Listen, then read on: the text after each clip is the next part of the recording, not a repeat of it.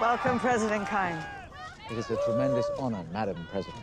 President Dalton sends his regards. I'm keeping the seat warm.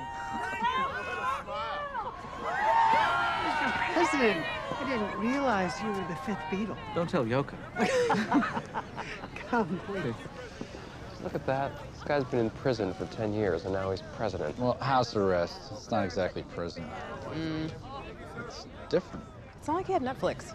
He was free to leave Myanmar at any time. He said as long as his people were imprisoned under a military dictatorship, he'd stay imprisoned with them. That's hot. Right? Mm-hmm. Guess I'm gonna die alone. During the years of my imprisonment, three things gave me comfort my cat, Sander, the notes sometimes left for me at great risk in my garden wall by my Burmese brothers and sisters, and my old copy of Democracy in America by Alexis de Tocqueville. Being French, I'm afraid he found your great experiment full of weaknesses and failures, but he always came back to hope. America.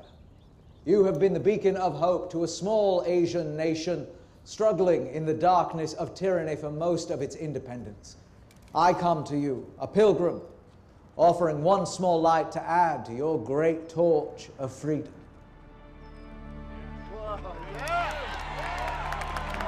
He doesn't have a speechwriter. That's all him. Okay, don't rub it in. Pam, I have some news that probably shouldn't wait.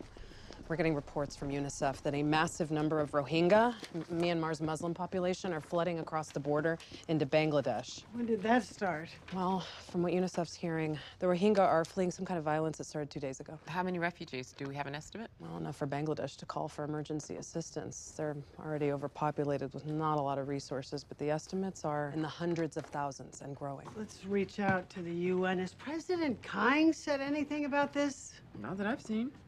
Blake, I'll set up a meeting. as soon as possible. Yes, ma'am.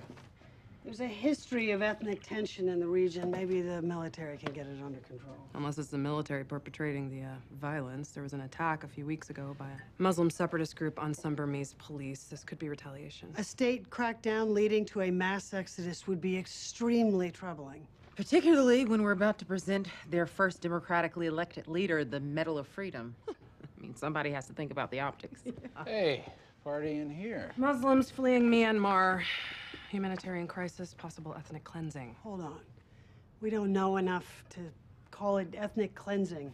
Except the Rohingya have kind of been living in apartheid like conditions for generations. They were rounded up and put in camps as recently as what was it, 2012? It's a country at, at a crossroads. They're part democracy, part military dictatorship.